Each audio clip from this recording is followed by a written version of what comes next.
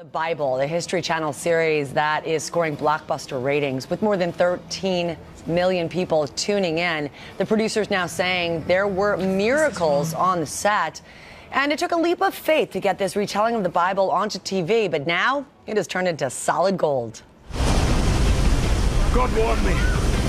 He told me to build a boat. It has floods, plagues, and even romance. This is wrong. This morning, the Bible, once called the greatest story ever told, now has some of the greatest ratings ever seen on cable. All thanks to the History Channel's new miniseries of the same name. This is not your grandfather's Bible. You know, everyone seems to be good looking, there's big production values.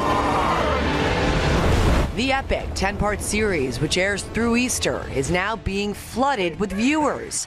13 million on its first night alone, making it the most watched entertainment program on cable. They want us dead. Among the show's faithful followers, celebrities like LL Cool J, Lisa Rinna, even Oprah Winfrey, who couldn't stop tweeting about the show while it aired Sunday night. Mary, did you know? Even one of the series' featured songs, performed by R&B superstar CeeLo Green, is giving the old book a new attitude. But the making of this TV juggernaut is something of a David and Goliath story of its own.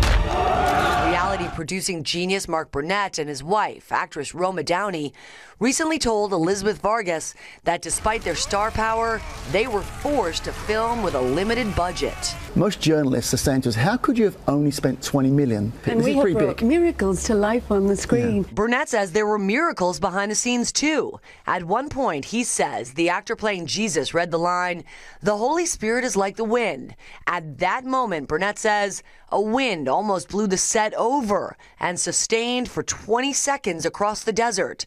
Everyone just looked at everyone like, what just happened? Divine intervention? Perhaps. But what is clear is that the series is a godsend for the once struggling History Channel.